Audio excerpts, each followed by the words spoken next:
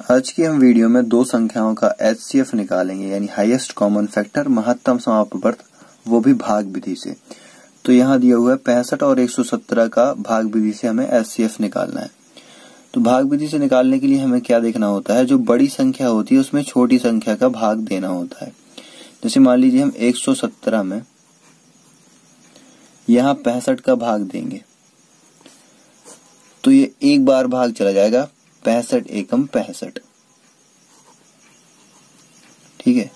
यही करना होता है, एक बार भाग देंगे हम।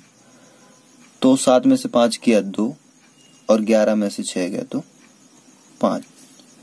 ये बावन आ गया हमारे पास। अब हमें क्या करना होता है, इस बावन जो यहाँ पर बावन आया हुआ है, इसमें से पुनः इस पैंसठ को भाग देंगे हम, इस वाले पैंसठ को।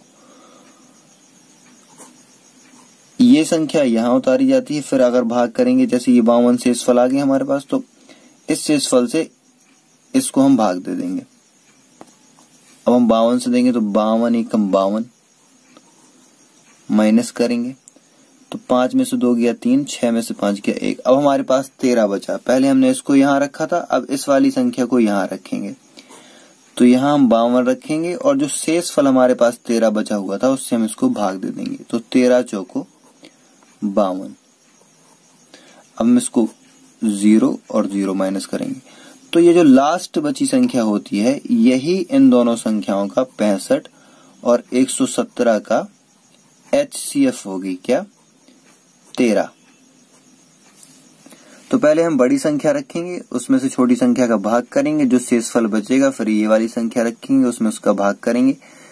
फिर जितना शेष फल आएगा तो ये वाली संख्या को हम यहाँ उतारेंगे, उसमें इसका भाग करेंगे, तब तक भाग करते जाएँगे जब तक ज़ीरो नहीं आ जाएगा। यहाँ कोई शेष फल बचता तो फिर से हम पुनः यही प्रोसेस को दोहराते लेकिन यहाँ पर शेष फल ज़ीरो आ गया है तो इसका मतलब है कि हमारा पूरा एस सी एफ़ सॉल्व हो चुका है और ये तेरह हमारा एस सी एफ़ आ चुका है।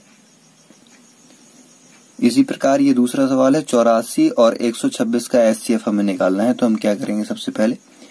यहाँ हम 126 यानी बड़ी संख्या को रखेंगे और छोटी संख्या से इसमें भाग दे देंगे, चौरासी से।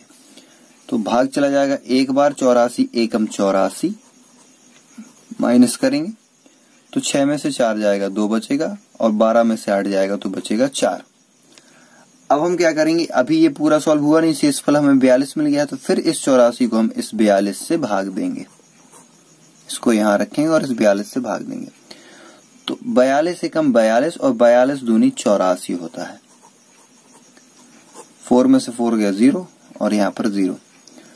तो अब चूँकि यहाँ पर हमारा पूरा सॉल्व हो चुका है और शेष फल हो गया है ज़ीरो तो इसका मतलब है ये जो संख्या यहाँ पर बची है बयालीस, यही इसका चौरासी और 126 का एच हो जाएगी।